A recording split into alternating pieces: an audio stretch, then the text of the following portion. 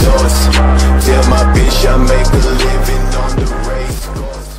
Hey guys, Explode Gaming here, and today we have a tutorial on how to make an intro. Now this only works with Android and um, on a computer because I've tried this on um, my iPad here and it was rendering, but halfway through it just stopped. So yeah. Um, so what you guys want to do is when you're on panzoid.com, I'll leave the link in the description if you guys just want a quick link. So go to community templates here. I'm Sorry, um, community templates, and then just find an intro that you want. We're gonna try this one, awesome green intro template Rio. Um, and you guys might, I don't know if you're gonna hear the audio. I really don't know. Um, let me try.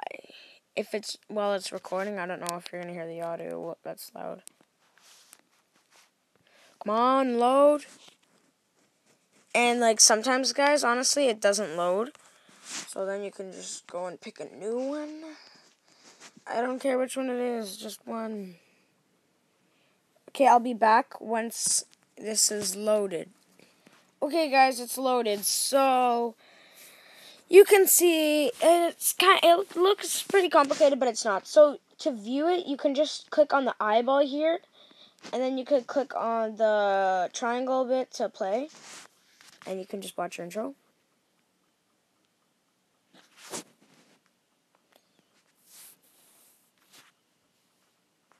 I don't know if you guys could hear that or not. I couldn't, but you might hear it in the video.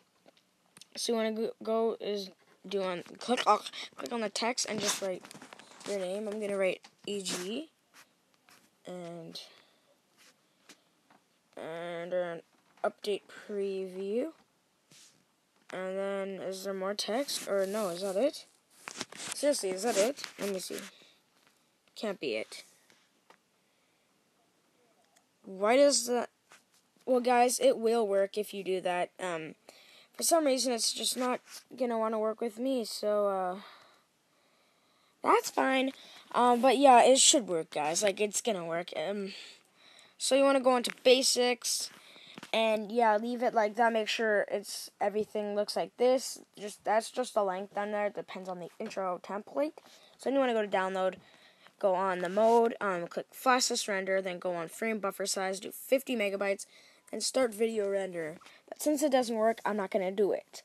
So yeah guys, that's been the end of this video. Make sure you like for this how to make an intro video, and I will see you guys on next time.